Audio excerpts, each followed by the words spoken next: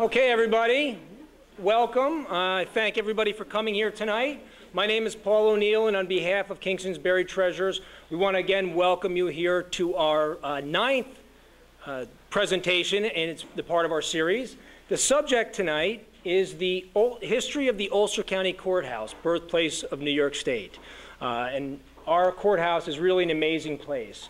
Uh, our featured presenter tonight is, as you can see, me. So before we begin, I'll tell you a little bit about myself. Uh, again, my name is Paul O'Neill, and I am the Commissioner of Jurors for Ulster County. And in that capacity, I am privileged to be able to go to work every day in the Ulster County Courthouse, because as I said, it's, it's, an amazing place. Uh, all courthouses are amazing places, because courthouses are where uh, justice is done.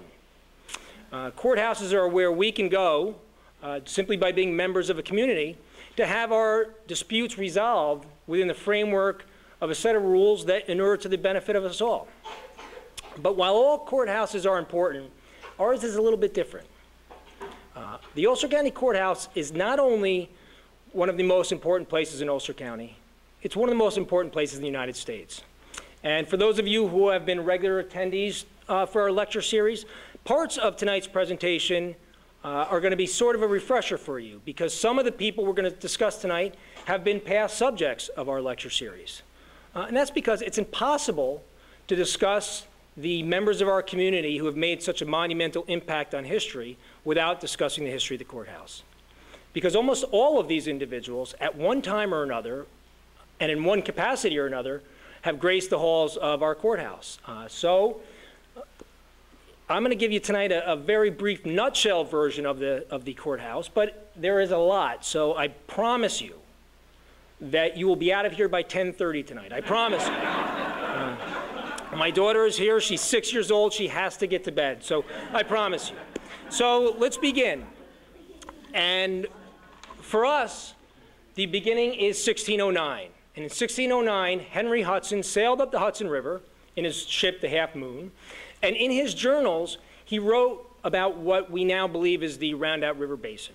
And the Rondout River Basin is a unique river basin on the Hudson because it's one of the few deep channel basins on the Hudson River.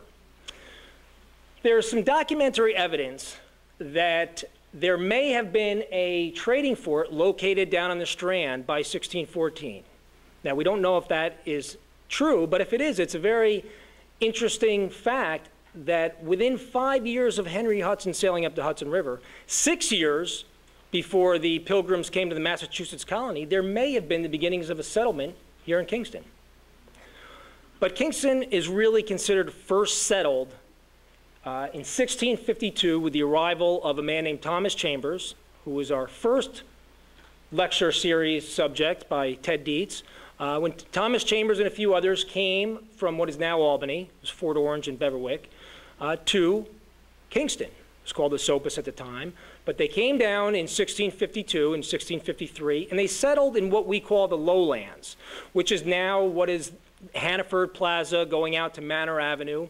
Uh, it was low-lying land. It was very fertile. Uh, the Indians had been farming it for hundreds of years, uh, and they began their settlements. So almost immediately, problems began between the settlers and the Native Americans, and they were both at fault. Uh, the settlers didn't pen in their animals, who trampled and ate the crops of the, uh, of the Native Americans. The Native Americans had a very unusual way of getting the settlers to plow their crops for free. They would go to the settler's house with a torch, a lit torch, and the settlers' homes had thatch roofs. So the Native Americans would threaten to burn their homes unless they plowed the land for free. So as you can see, there were constant problems. Uh, and every time there's a problem, the settlers sent down to New Amsterdam, which is New York City today, to the governor there, who is this man, Peter Stuyvesant. Uh, Peter Stuyvesant was the director general of New Amsterdam at the time. And every time there was a problem, Peter Stuyvesant would either come up himself or he would send up troops. And this went on for six years. Finally, in 1658, Peter Stuyvesant said, This is crazy. Uh, you, you live scattered about, you can't act in your own mutual defense, unless you agree to relocate to a place that is more defensible uh, where you can act in your mutual defense and build a stockade barracks, uh, I'm not going to help you. So it's up to you. If you want to relocate to a place that's more defensible, not only will I continue to help you, I will send a permanent garrison up here. If you don't, you're on your own. So the settlers met, uh, they discussed it, and they decided, yes, we will relocate. Uh, so Peter Stuyvesant selected the, stock, the early Stockade District, which is actually where we are located right now. Uh, and here is a picture of the 1695 Miller map. And uh, this represents the Stockade District as we envision it today. But the district that Peter Stuyvesant originally laid out, and he actually picked it out, he surveyed it, and picked and laid out the first 16 lots. The original stockade that Peter Stuyvesant laid out went up what's now Clinton Avenue, was East Front Street at the time, to North Front Street. It went a little bit past Wall Street to John Street. So only that little section was the original stockade. In 1661, the stockade extended out to Green Street. In 1670, it extended about halfway through here. And by 1677, it had extended south to Main Street, and that's to what we now consider the original, uh, we consider that the Stockade District today. Um, this, there is an inaccuracy in this map, however. Uh, Wall Street ended at John Street. It didn't go through to North Front Street until about 1830.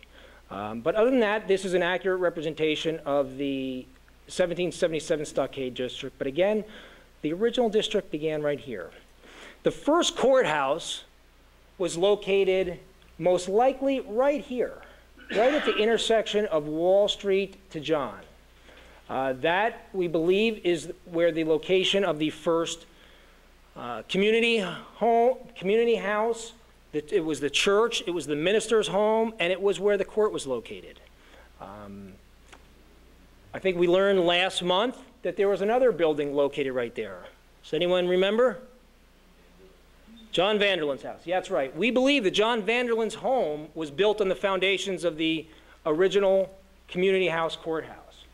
Uh, so the original courthouse was located there. By 1689, the courthouse is located right here where it is today, in the same exact location It was probably there earlier, but we know without a doubt it was there by 1689, making the property that the courthouse is located on the oldest parcel in the United States to house a public building. The original courthouse was probably somewhat modest, uh, and that was in use until 1732. It was under constant repair, and by 1732, its condition had deteriorated to a point that a new uh, jail and courthouse needed to be built.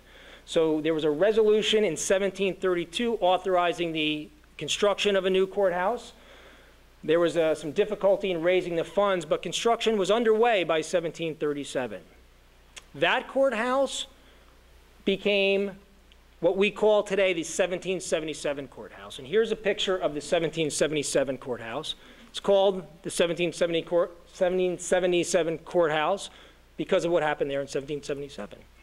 But this is the structure that was burnt by the British, along with almost every other building in Kingston, uh, October 16, 1777. But this courthouse was in effect, and there were constant renovations and repairs from 1732 till it was burned. And when it was burned, they burned the, all the wood portions of the building, but the stone structure remained. To the settlers' credit, uh, to the Kingstonians' credit at this point, they almost immediately began rebuilding. And it was rebuilt, and it was remained in service until 1816. Uh, and again, this is a picture of the 1777 courthouse. It's interesting in that it had the stocks in the front. Those are leg stocks, and those are, I guess, head and arm stocks. So if you were sentenced to the stocks, people could walk up Wall Street and throw tomatoes and garbage at you. It's probably not a bad sentence uh, to have. And if you notice the on the south end, this is the south end of the courthouse, there's bars in the windows. That was the original jail.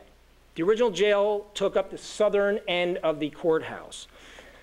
So uh, again, this courthouse was in use until 1816, at which time its condition had deteriorated to a point that it needed to be uh, completely rebuilt. So in 1816 and 1817, this structure was taken down to the foundation and built again. It was built on the same foundation, uh, but it was reconstructed. So between 1816 and 1818, the courthouse functions moved to this building. This is the DeWall Tavern. The DeWall Tavern is no longer there, but it was located on North Front Street, and it's right about where Nico's Pharmacy and the parking lot is today. The DeWall Tavern was famous for miles around for a very unique characteristic that it had. It had a ballroom on the second floor.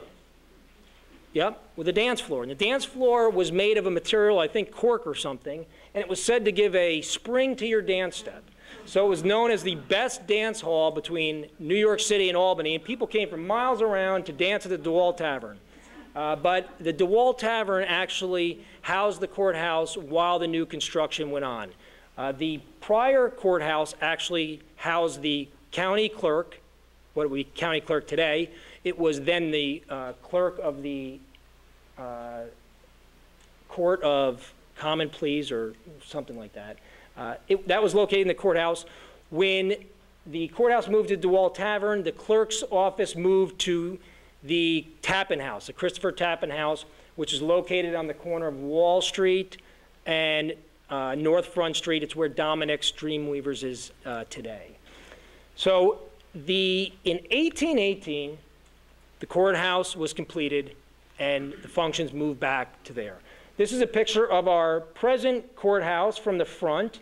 Uh, by the dress of the gentleman in the front, it's probably early 1900s, but it, this is still what the front of our courthouse looks today. The 1818 courthouse ended right about here. Um, and that again was built in the same, lo- the same location as the original 1689 courthouse. So it's been in the same place all that time.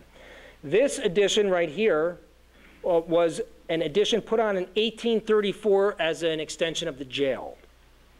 Uh, here is the overview of the architectural plans uh, that Mark Phelan had provided.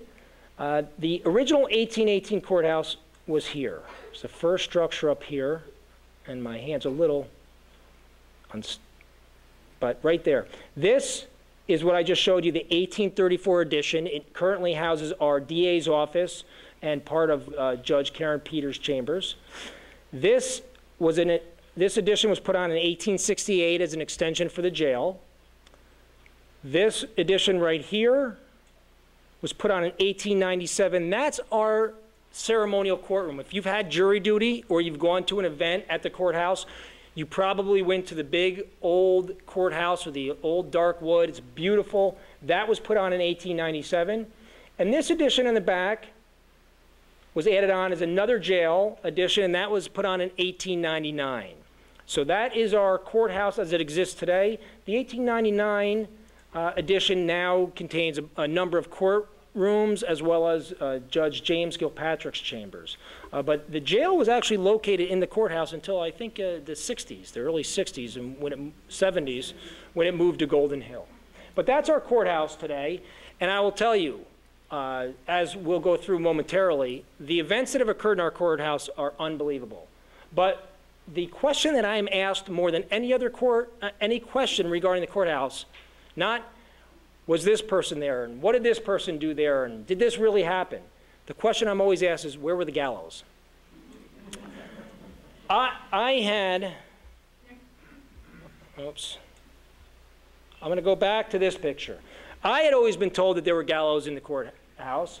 I had been told they'd been anywhere from up here in the cupola to right here, which is now our grand jury room. The answer to that question is there were no gallows in the courtroom uh, the courthouse. They were never in there. Um, for a couple reasons. One, when there was an execution, that was a public event. Everybody came, and you wanted everybody to come. It served as a deterrent, and sadly, it was also entertainment. So you wanted as many people there as you could, and in those places, you would not have been able to get many people. Second, after you did the execution, you had to remove the body. I will tell you, I've been up in this cupola.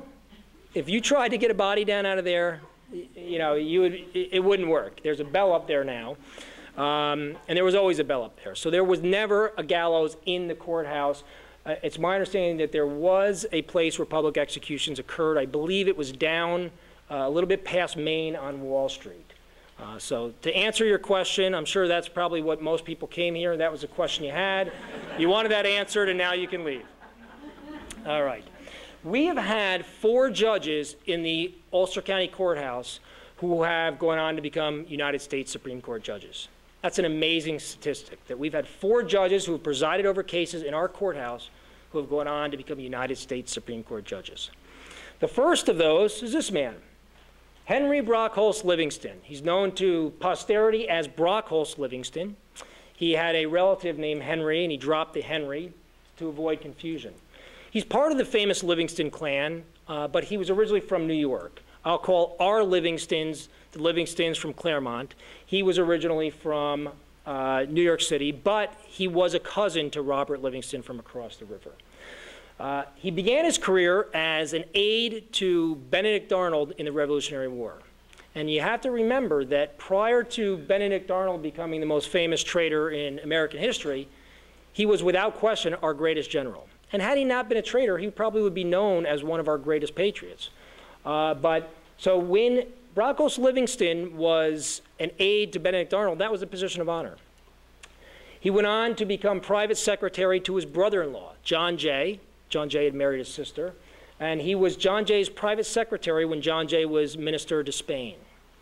But he became a fervent anti-federalist and a rabid Jeffersonian. And he started writing what I'll call poison pen missives against the noted Federalists of the day to the uh, media, including his brother-in-law John Jay, which I assume made family gatherings a little tense. He wrote them anonymously, but everybody knew who wrote it. Uh, and he was so outspoken, there was actually a, an assassination attempt on his life at one point. On another time, a, he was walking down the street, a Federalist came up and punched him in the face. They each challenged each other to a duel in which uh, Livingston killed the man. So he was a very outspoken uh, Jeffersonian at the time.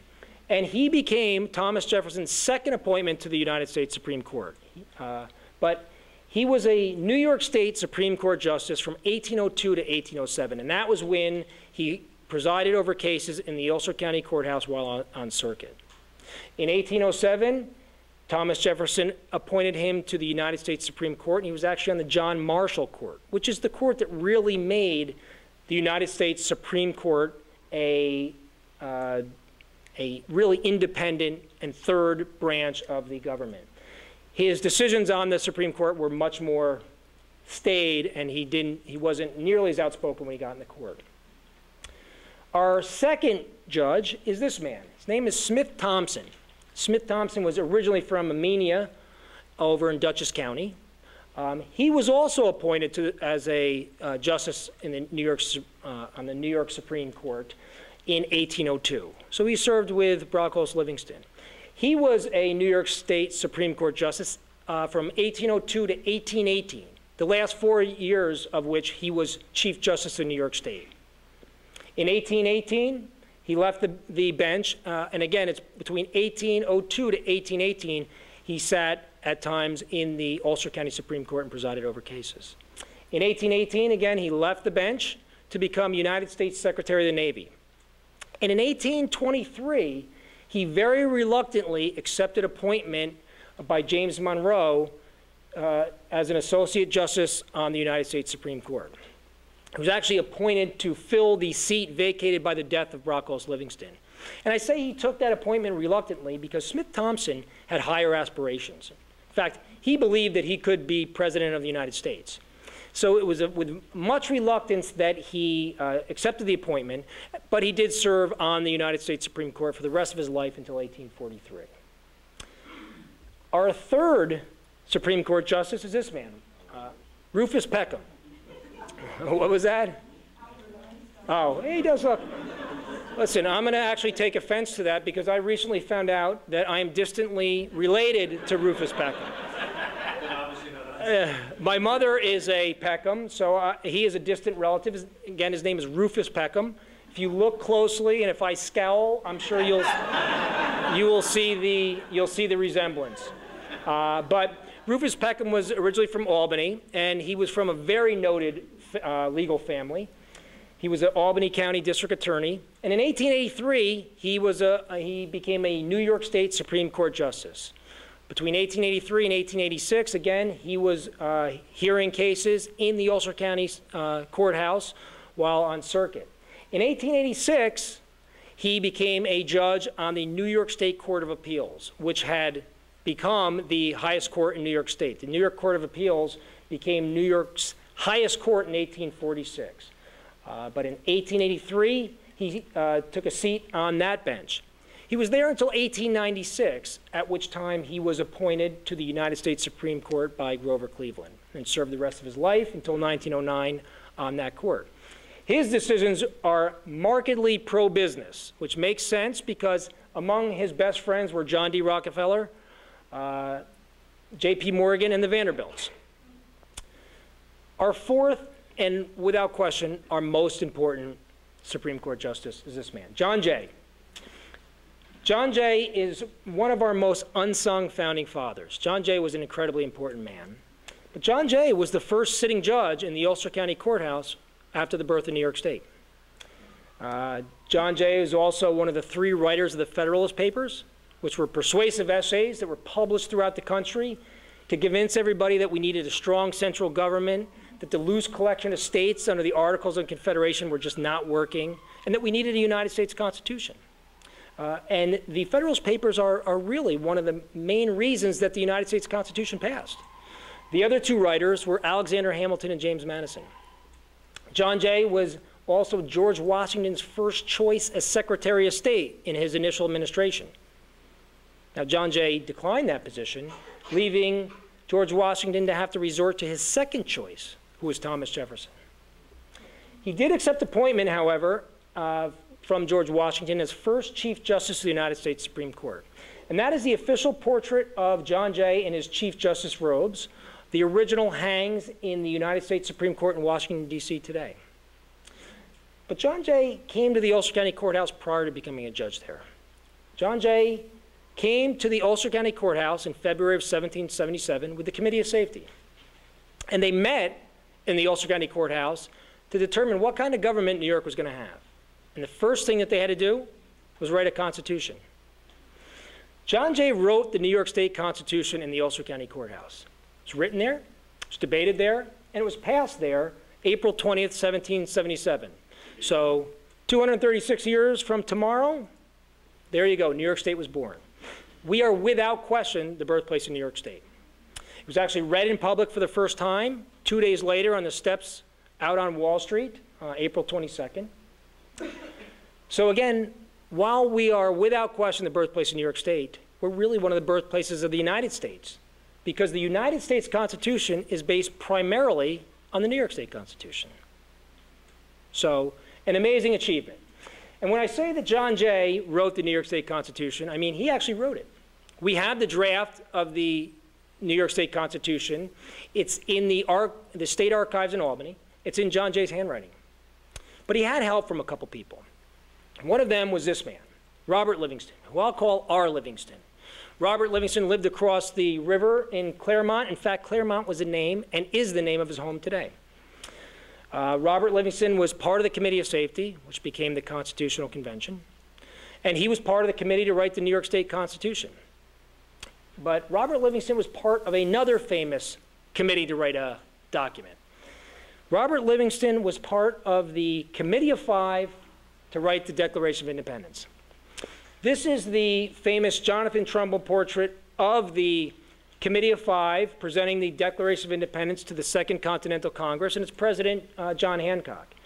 The Committee of Five consisted of John Adams, Roger Sherman, who was from Connecticut. The guy in the middle, that's Robert Livingston, Thomas Jefferson, and Ben Franklin. Now, this is not an, act, an actual portrayal of what happened at the signing of the Declaration of Independence. Jonathan Trumbull painted this years later. He went around uh, and painted the likeness of any of the signers that were still alive. Any that were not alive and that had portraits done of them during their lifetime, he used that. There were some that had none, no portraits, and were uh, no longer alive. Those he painted a likeness based upon the descriptions of the people who knew him as best he could.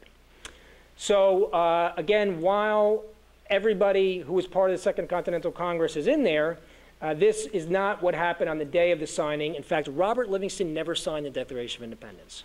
He was part of the Committee of Five. He was called back to New York prior to the signing and never signed it. He had a cousin named Philip Livingston, who is known to us today as Philip the Signer, because he signed. and Robert Livingston is known to us today as the Chancellor because he was the Chancellor of New York, which is the highest legal officer in New York State. Um, Robert Livingston is also the person who deserves sole credit for the Louisiana Purchase.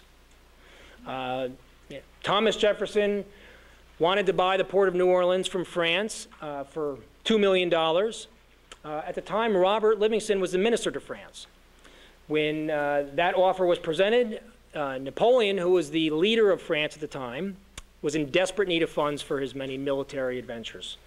So France said, you know what, we'll do you one better we will sell you not only New Orleans, all this land, which is the middle part of the United States today, for $15 million. Robert Livingston couldn't pick up the phone and call Thomas Jefferson, who was president, and ask him whether he should do this. Would have had to send a letter, write a letter, would have had to go across the Atlantic, would have taken weeks, if not months, get to Washington, D.C., get an answer. Couldn't do it. So Robert Livingston said, you know what, I have no authority for this, uh, but I know a good deal when I see it. I'm going to agree to it. And he did. He did it without authority, and that's fortunate for us because he really made, he put us on the track to where we eventually became. Um, he doesn't get the credit for that, and he really deserves it. Robert Livingston was also the uh, partner of Robert Fulton in the invention of the steamship. Uh, the first steamship trip went up the Hudson in front of Robert Livingston's home, Clermont, in honor of him. Uh, in fact, today the uh, first steamboat is known as a Clermont, right? Actually, it is a great feather in our cap to, to that that is the common belief, but the first steamboat was actually not named the Clermont. It was named the North River Steamship. North River was the name of the Hudson, part of the Hudson. Robert Fulton's biographer uh, wrote his biography a few years after Robert Fulton's death, and he mistakenly wrote that the name of the first steamship, and this is actually a picture of the first steamship, but it was not the Clermont. But thanks to that error, we today can tell everybody, yeah, no, no, I saw a picture, it's the Clermont. It wasn't. Now, I've just given you a, a number of reasons why our nation should be thankful to Robert Livingston. Here in Kingston, we have another reason to be thankful for Robert Livingston. After the British burned Kingston in October of 1777. Uh, the citizens here were destitute. They burned almost every building, and people lost everything. Robert Livingston also had his home burned and his farms burned, so he suffered personally too. But he made a gift to the trustees of Kingston to be dispersed among the, re the residents of Kingston as the trustees felt would uh, help the most 5,000 acres of his own property. It's part of the original Hardenbergh patent. The property, the land is now today in Delaware, uh, Delaware County. In fact, one of the towns is known as New Kingston. So it was an unbelievable gesture from a man who suffered greatly.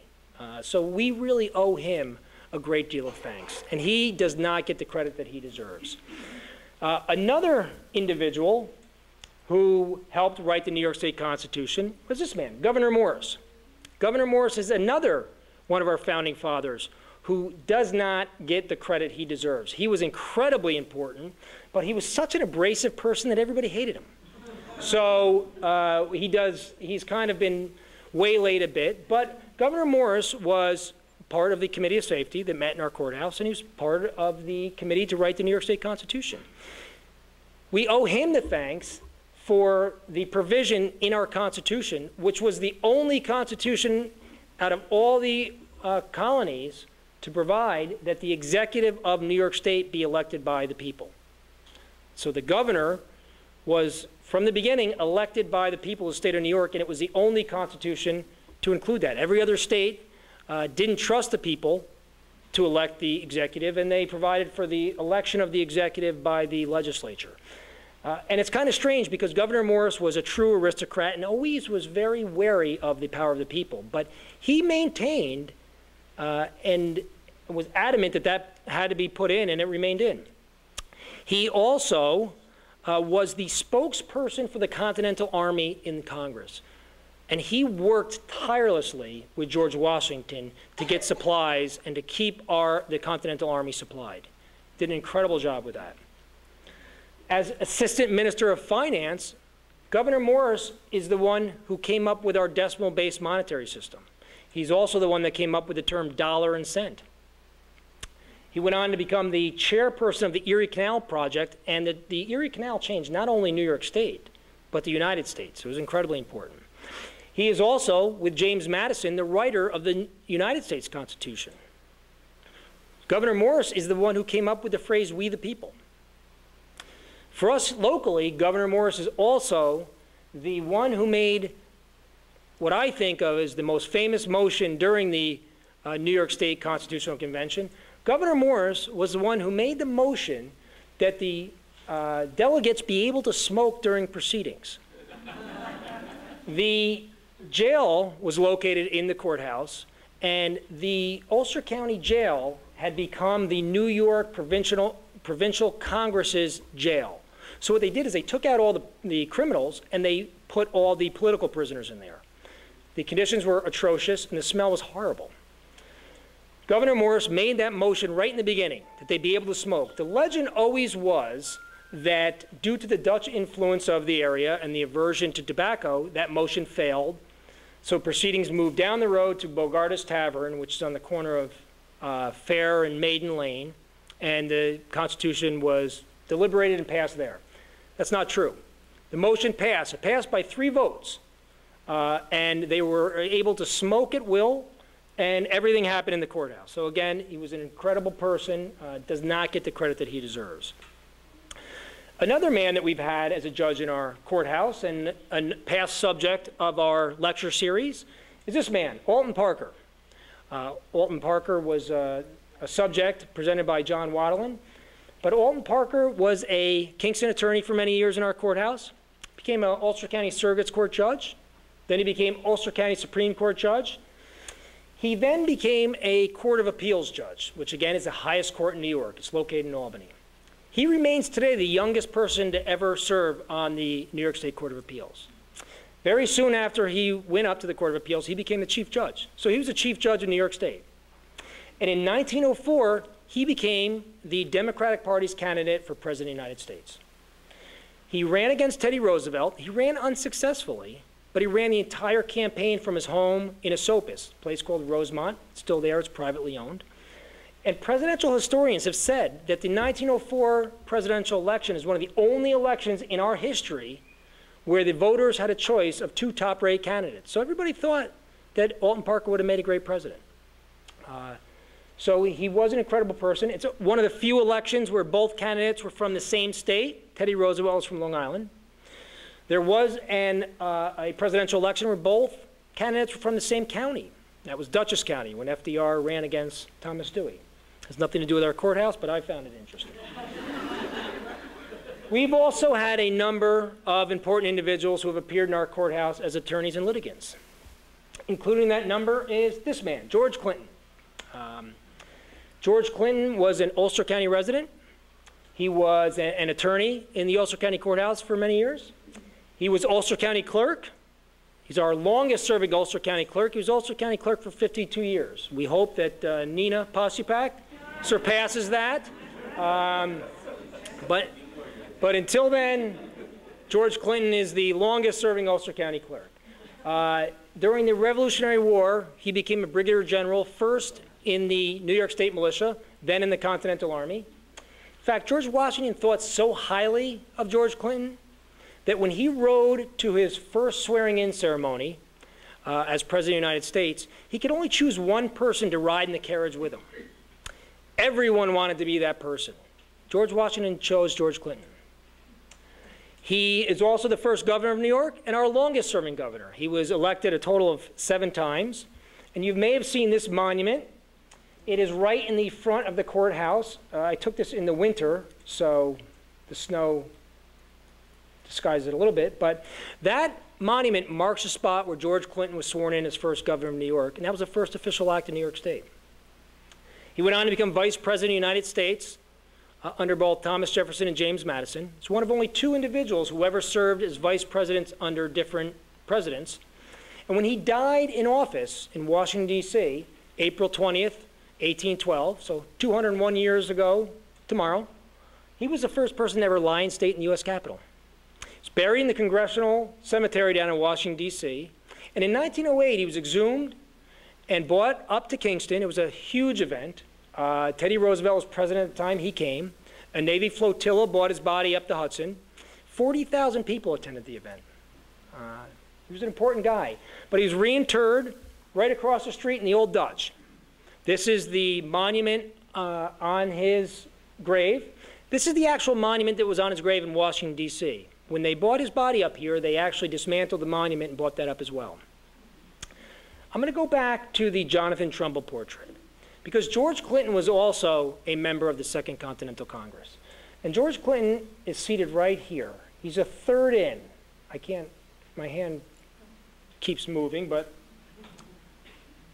George Clinton is located right here, third in. Uh, now, again, this is not an accurate portrayal of what happened at the signing. George Clinton was part of the Second Continental Congress. He was there for the vote of independence, and he voted in favor of independence.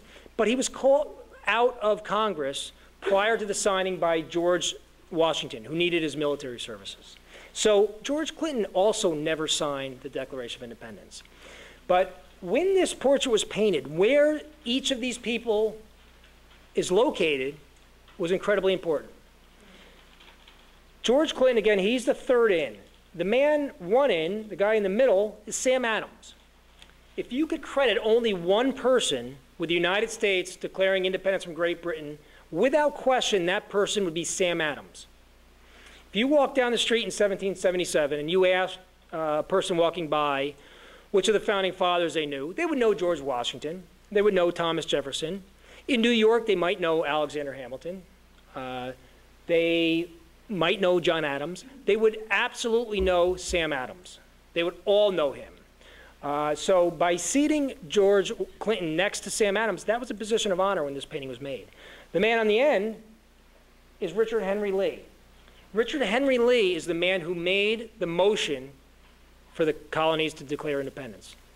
The Declaration of Independence was simply a written uh, memorialization of that motion. Uh, so, again, by placing George Clinton where he was, that showed just how important he was. He was an incredible person. Another man that we've had as an, uh, as an attorney in our courthouse for a number of years, and another past subject of our series, is this man, George Sharpe. Uh, Walt Wachowski did a wonderful presentation on George Sharpe. For my money, George Sharpe is one of the most important people in the history of the United States. And it's very sad that most people here in Kingston, where he lived, don't even know who he was. But George Sharpe was an attorney for many years in our, in, in our courthouse. He was a lifelong resident of Kingston.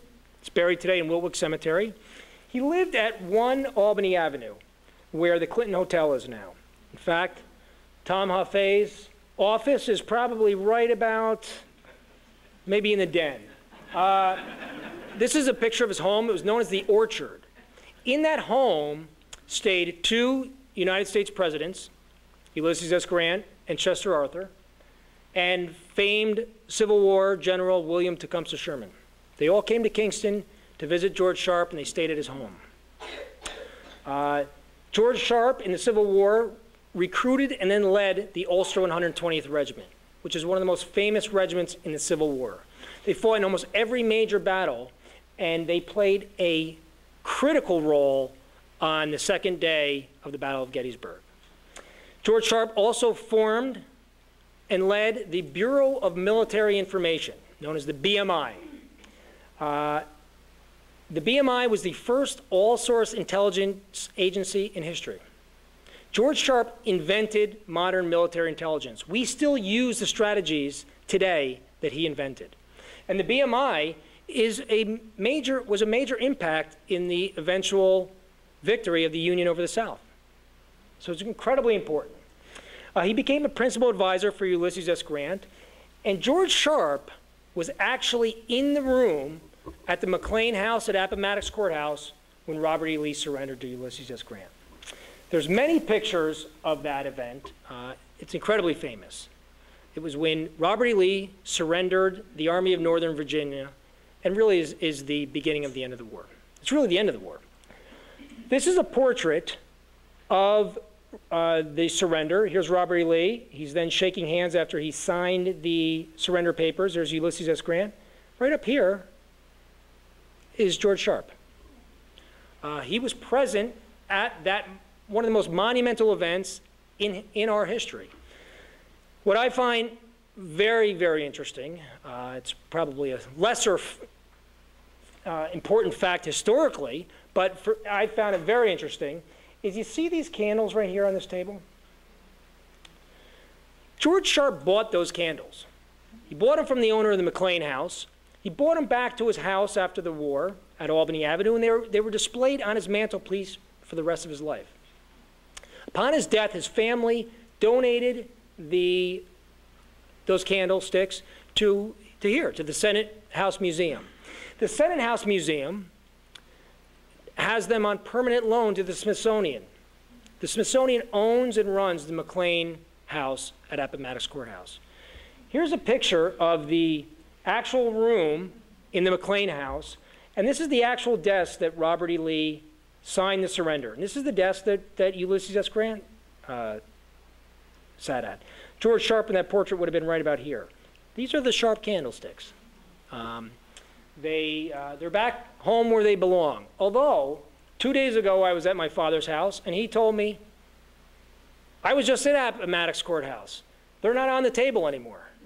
They're in a, they're in a case in the back. So I said, why are you telling me this today? the presentation is in two days. I already have the, th- I can't change the slides. So uh, I'm just going to say, you know what? They're temporarily put in a side cabinet. They're going to be back there. So if you go there, you'll see it. Uh, George Sharpe was delegated probably the greatest responsibility by Ulysses S. Grant after Robert E. Lee surrendered. George Sharpe was asked by Ulysses S. Grant to parole uh, the Army of Northern Virginia. When you paroled somebody, you took their promise that they would not bear arms again against the United States until they were either exchanged for another prisoner as part of a prison exchange or the war was over. Uh, so George Sharpe paroled Robert E. Lee and the Army of Northern Virginia. This is a copy of that parole. And this is Robert E. Lee and his staff and their promise that uh, as part of the surrender they would not bear arms again, again against the United States. And here's George Sharpe's promise that as long as they kept their word, they would not be punished any further by the United States. Now, Abraham Lincoln was a voice of reason. He understood that at the end of the Civil War, we needed to heal. It was not a time for punishment, it was a time to embrace the South and, and bring them back and become a nation again.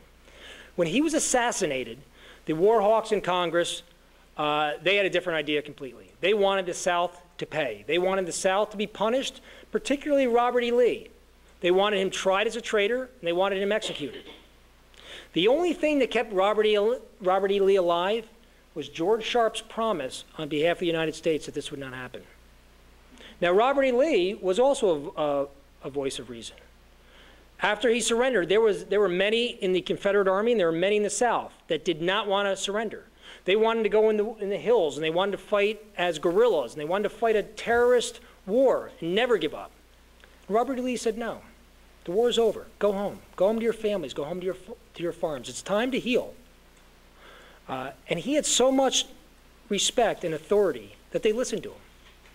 If Robert E. Lee had been executed as, uh, for treason, it's debatable whether the United States would be together today. Uh, it certainly would have knocked back the, the, the, the joining of North and South for many, many years. So this is one of the most important events, I think, that happened in our history, and it was because of George Sharpe. Uh, George Sharpe, another interesting fact about him is that after the assassination of President Lincoln, George Sharpe was sent to Europe to investigate the possible involvement of other U.S. citizens in that assassination, particularly John Surratt.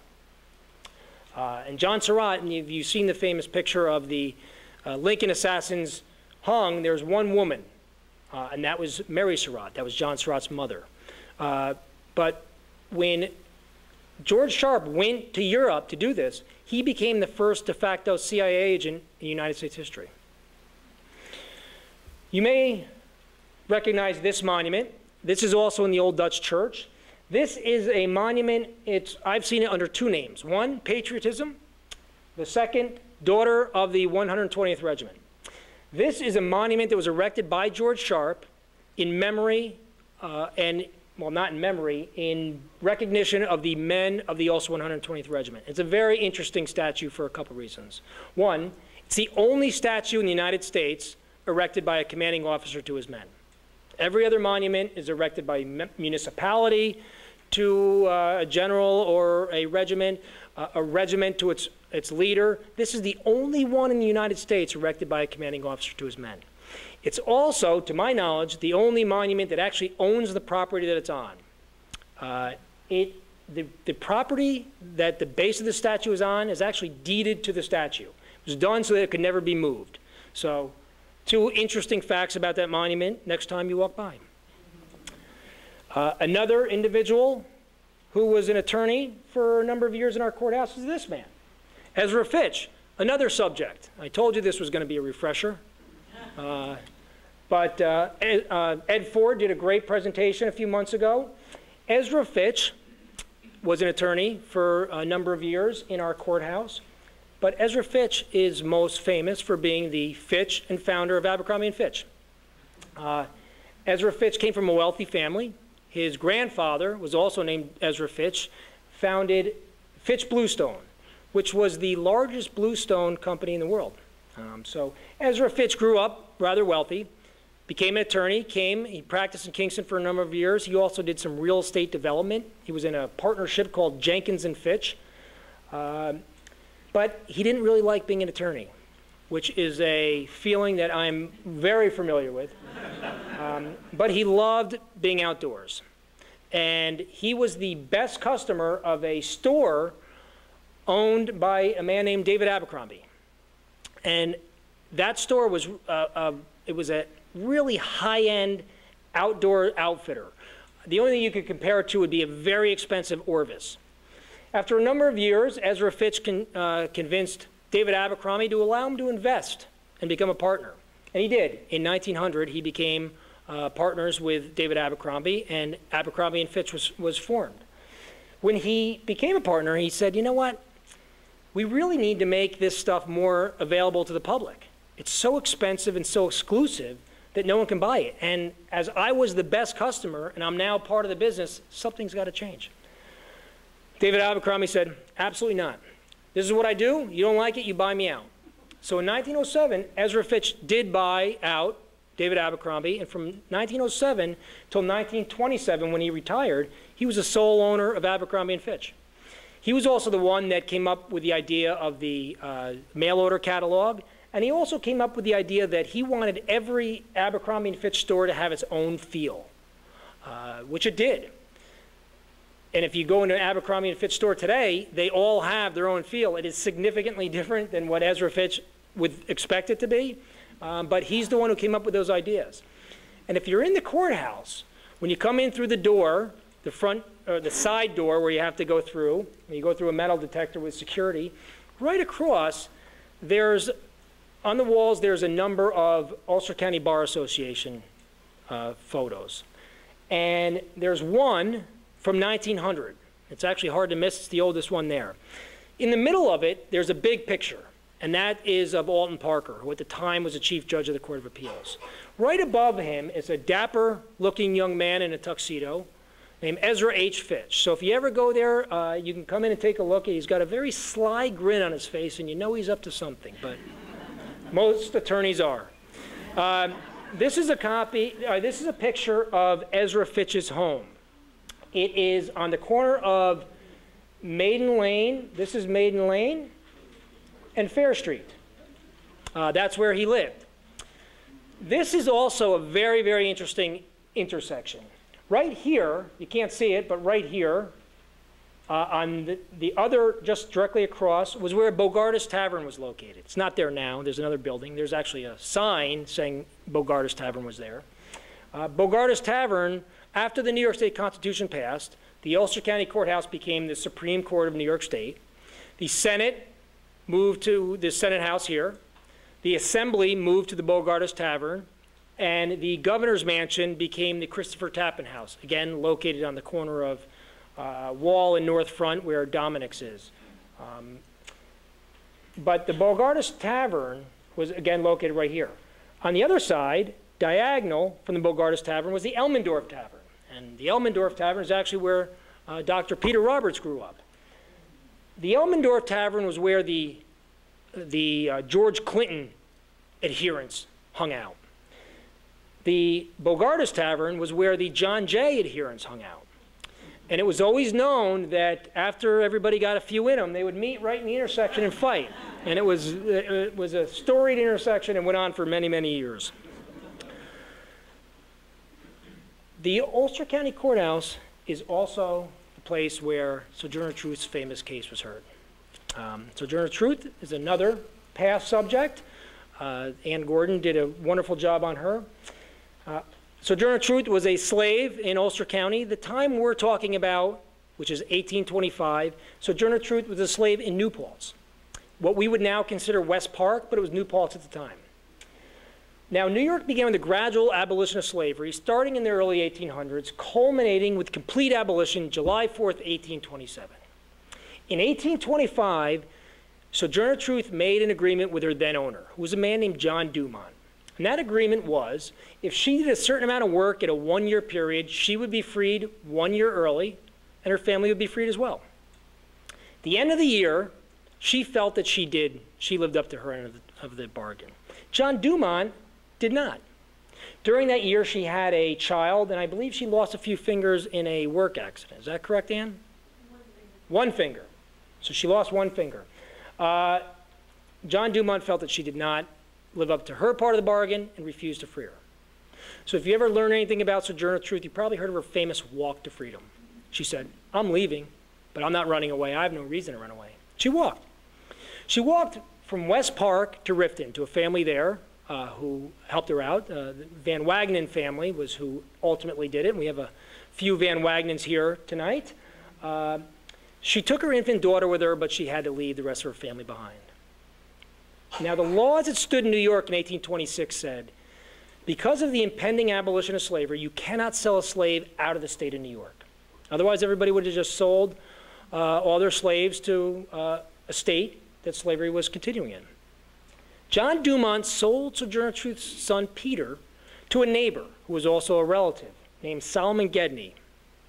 Solomon Gedney sold Peter to a plantation in Alabama. He sold Peter to his son in law and daughter in Alabama in, in contravention of the existing law.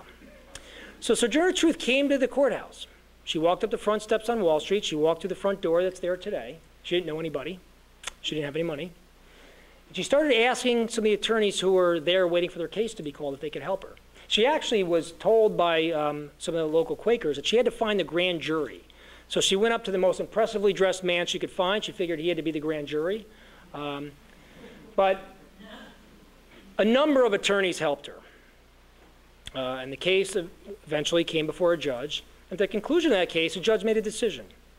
And the decision was that Peter was going to be, oh, uh, before I get to that.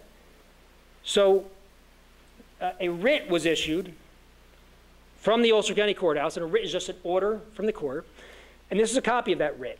And this said that Solomon Gedney had to appear in the Ulster County Courthouse, and he had to bring Peter with him. If he didn't, he had to pay $500. Now, in 1828, when this writ was issued, $500 was enough money that Solomon he got in a boat. He went to Alabama, he got Peter, and he came back. And, again, and the case came before a judge, and the judge made a decision. That decision was that Peter was leaving the Ulster County Courthouse that day with one person. That person was his mother.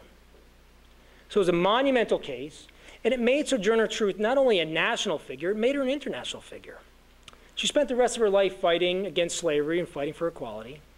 But if it wasn't for what happened in the Ulster County Courthouse, we probably would never have heard of Sojourner Truth. In fact, she may never have been Sojourner Truth.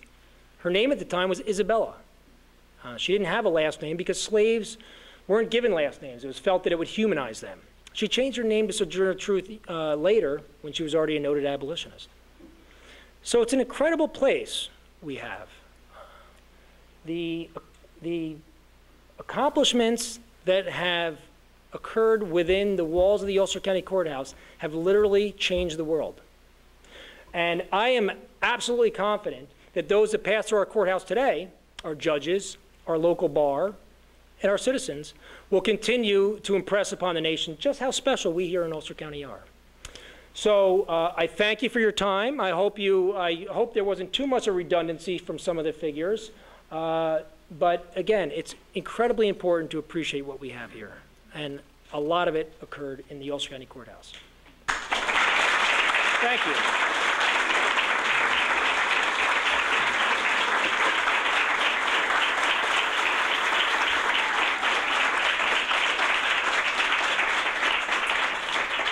Are there any questions?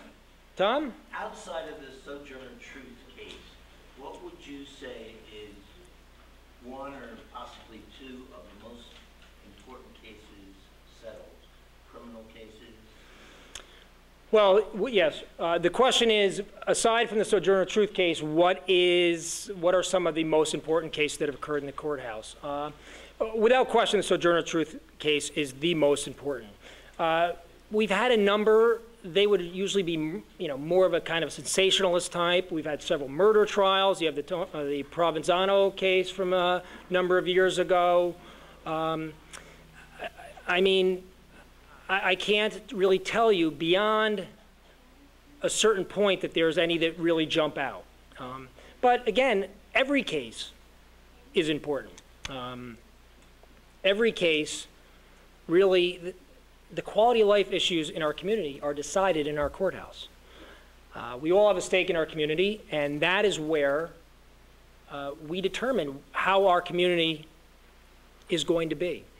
Um, so again, except for the sensational type cases, you know, we had the recent gang murder trials, uh, which have done an incredible job in, you know, addressing some of the gang activities. But uh, I, I can't really answer that well. The Sojourner Truth case is the one that really stands out. There were a lot of activities when uh, the South uh, uh, attacked Fort Sumter. The courthouse is where the entire town congregated and, and everything started, the enlistments and everything else. So the courthouse was really the, the center of our community and it had, has been since it was first made. The, there is a bell up in the cupola, uh, and that was used to call everybody whenever there was an issue that needed people to come together. So uh, I guess the answer is I, don't, I really don't know. Yeah. Is the courthouse open to the public? Yes. walk in there and- Absolutely. Courthouse, the Ulster County Courthouse is your courthouse. It belongs to us, to all of us. So it is a public place. You can go in at any time. Uh, You can sit on any cases. Grand jury proceedings are, are secret, and you cannot go into the grand jury room, but that's it. I don't even think you'd get to that point, Carl. Uh, But yes, they are public places, and we encourage anybody who wants to take a tour of the courthouse, please give me a call at the Commissioner Juror's office. Uh, Again, I strongly, strongly believe that the courthouse is where justice is done. And it's important that we see that justice being done. And we do that as jurors when we appear there. We're the ones who make those decisions. But I give tours all the time. I do uh, tours for schools, and I always tell the people who come in as jurors, if you ever want to come, you want to bring your family, give me a call. It's your courthouse, and it's important that you know what happened in it. So, at, absolutely, it's a public place, and, and I'd be happy to take you through. I'll, I'll give it. To, I can give it to you after. It should be in there anyway. Any other questions? Knowing some of the portraits that currently hang in the courthouse, how come some of these judges, older judges, justices, pictures don't hang in we, in the county courtroom, if you ever go in the county courtroom, which is actually the courtroom uh, that was there when Sojourner Truth's case was heard, I think a lot of that happened upstairs in the judge's chambers, but uh, in our county court room, uh, our county court judge now is Judge Donald Williams. Uh, in his courtroom, they have portraits of all the Ulster County judges going back to 1798. The up in our ceremonial courtroom, we have portraits of our, some of our Supreme Court judges. Unfortunately, they didn't start until probably the 1950s. Uh, I recently obtained portraits from the Court of Appeals of John Jay and Alton Parker, which we've put up. Uh, but some of the other judges were circuit court judges, uh, but they should be put up. And maybe that's something we'll work on. Scott works in the courthouse with me. He actually uh, keeps the place running, so maybe we'll, we'll see if we can do that. Mark?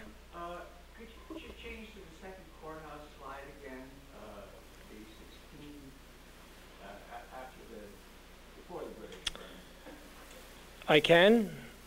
And could you, uh, look at the cupola and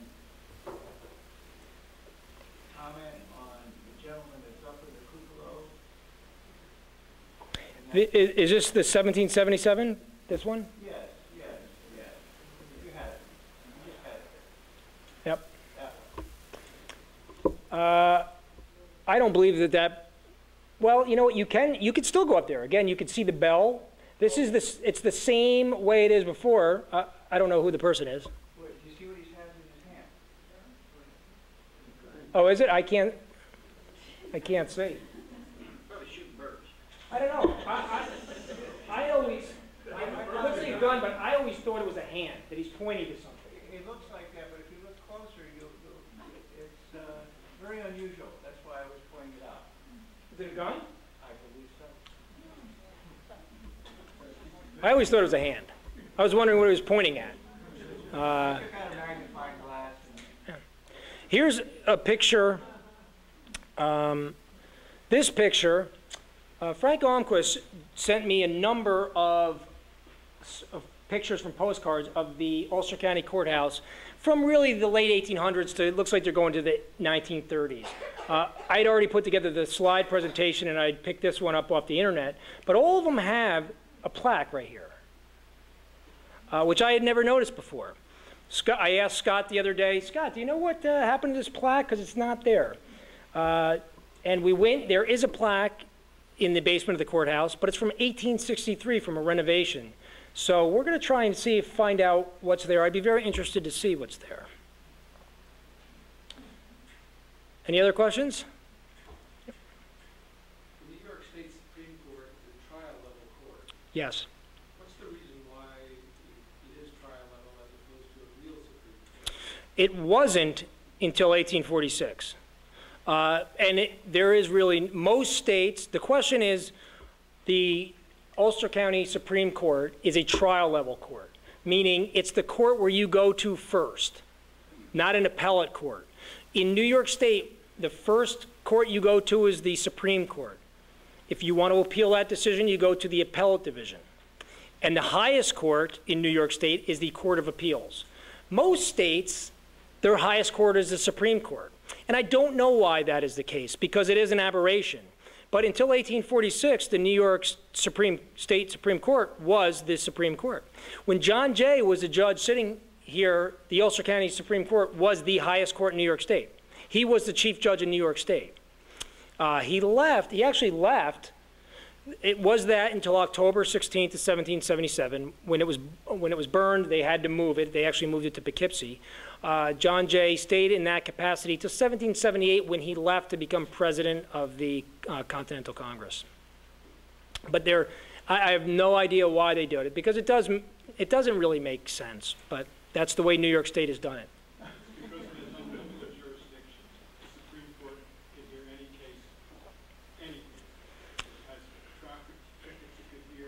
Well, well, the issue is called the Supreme Court because Yeah. it's a limited jurisdiction. But you wonder why the high, the Court of Appeals isn't the Supreme Court and the, the original court have a different name. But, I don't know. Like most states, their highest court is the Supreme Court. You go to the Supreme Court. But, so and it's just an aberration. A New York, one of many New York aberrations. Any other questions? No? All right, well then, I, I would like to take, before we leave, again, I do like to take an opportunity to thank those that make this uh, lecture series possible. Okay. Uh, First, I want to thank the Senate House. They, again, as we've said, they are such a crucial part of this series. They allowed us to do it, to do this here. They stay open late for us. They set everything up. So if you get a chance, you know, thank them for it. They make it possible for us to have this series. They're also open now, uh, and they have wonderful things going on here. So uh, ask them what's going on, and please come down and see it. Uh, Bob Rizzo in the back. Bob films all of these. Anybody who wants a DVD of this lecture or any of our lectures, I believe he has a couple tonight from uh, Joe Tantillo's presentation on John Vanderlyn uh, last month. But you can contact him or talk to him and get them. Uh, Bob is really a true professional, and he has made, uh, he really, if you've seen any of the videos, they were playing on public access TV. Uh, he does a wonderful job, so we want to thank him. Uh, the people who really publicize this, who are probably the reason that, that you heard about this in the first place. Uh, Hugh Reynolds, again, Hugh is always here and always does a nice spread in the Kingston Times. Uh, we want to thank him, and Hugh, in a few months, is going to be one of our presenters. Uh, so you have to make sure you'll be here from that. I'll have to take the notes, and I will write a story. We'll see how his. It's, it's nice to have that. So we'll see. We'll see what he writes about me. Um, Jillian Fisher is here. Jillian Fisher. Uh, she sends out an email. Uh, she's done a great job for our series and for everything going on in Kingston. In fact, she hounds me relentlessly to finish up the press releases so that they can get out in time. So I want to thank her. Friends of Historic Kingston. They do a great job with, with their promotion of Kingston uh, without the series, but they also do a great job promoting our series. They put it on their website, and we appreciate that. Ulster County Tourism, Kingston Community Radio, Kingston Happenings, the Daily Freeman Preview, uh, all these uh, people, they help. They get the word out, and we want to thank them for that. Walt Wilkowski, Walt, again, besides from being a, one of our presenters, he always takes our flyers and puts them on the uh, Civil War Roundtable, so we appreciate that. I also want to take a chance to thank uh, Kingston's Buried Treasures, because uh, Kingston's Buried Treasures really uh, puts this all together, and, and it is a great series. We've done a great job, and it's, it's largely because of Kingston's Buried Treasures. So Joe Tantillo, Again, Joe, besides for being our last month's presenter, he puts together all these. Uh, he puts together the flyers. He puts together the PowerPoint presentation. So he does a great job. Ed Ford, you know, what can you say about Ed? what can you say about Ed? Um, uh, uh, Ann Gordon, our Ulster County historian. Uh, Ann does a wonderful job with everything she does on uh, throughout the county. Pat Murphy, I saw Pat in the back. Uh, Pat is part of this. Tom Hoffay, uh, Kingston Alderman as part of this, uh, Nina Postupack, our county clerk. Uh, these guys really do a wonderful job. So please, if you get a chance, thank them. Uh, and again, I want to thank all of you. Without you, we wouldn't be doing this. Well, we may, but it, well, thank, oh, thank you, thank you. Uh, thank you. I'll, I'll tell you uh, our upcoming presentations next month, May 17th, uh, right here at 5:30. We are going to be going to be doing a presentation on Colonel George Pratt, who was the leader of the Ulster 20th, known as the Ulster Guard, in uh, during the Civil War. Seward Osborne, who uh, anybody who's in uh, interested in the Civil War knows Seward or knows of him. Uh, he, I, I, defy you to find someone who knows more about the Civil War than Seward, but he'll be here for that. Uh, as an aside for George Pratt, George Pratt is actually the one who, prior to the Civil War, he was part of the Ulster County Historical Society. He wrote the premier uh, story of the burning of Kingston. He went through, he actually looked at the documents that were in London that were filed from the, uh, from the British side, and he wrote what happened in the burning of Kingston. It really is the preeminent statement of the burning of Kingston. If you get a chance, I know they sell the, uh, the, store, the pamphlet at Friends of Historic Kingston. In June, June 21st, 2013, we are going to be doing a presentation on Samuel Coykendall, a true monument. I mean, he was a, mo uh, uh, a industrial monster Uh, He was the son-in-law of- of, I mean that in a large sense. Uh, You know, he was, he was in effect uh, a robber baron, as his father-in-law Thomas Cornell was, but he made an incredible impact uh, on this community. We are going to be doing that. This is my daughter Alex. I think she wants to come up, and she, I think she is our youngest uh, attendee ever. I think she's at the end of it, but this is Alex. Um, the Samuel Coykendall presentation is actually going to be somewhere different. We're going to mix it up a little bit. It's going to be at the Montrepose Cemetery. And if you have ever been down there, there's a wonderful memorial. It's called the uh, Cork, uh, Coykendall Cornell uh, Memorial. It has Thomas Cornell and Samuel Coykendall and their family members. We're going to be doing it there. Uh, so it's going to be a nice summer night. Ed Ford is going to be our presenter, so please uh, make sure you come there. And on that note, before we leave, I would be remiss if I didn't say happy birthday, Ed.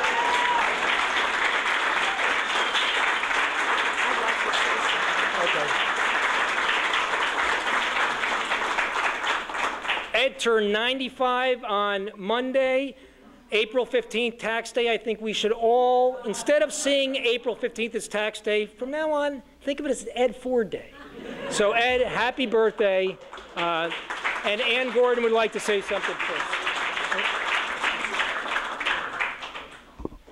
Uh, As county historian, I want to remember a very historic event that happened last year on April 20th, which was our celebration of the 200th anniversary of the death of George Clinton. And I don't know how many of you were in Kingston for that wonderful day with two marching bands, hundreds of school children waving flags, many dignitaries, 17 different floral arrangements laid at the foot of Clinton's uh, memorial statue. Uh, it was a wonderful event, and it's that event is the reason why we're here tonight. This committee who worked together to put together that event, when we got through, we said we had such a wonderful time doing that. Let's do more. And the result is Kingston's Buried Treasures. So happy first birthday to us. Thank you.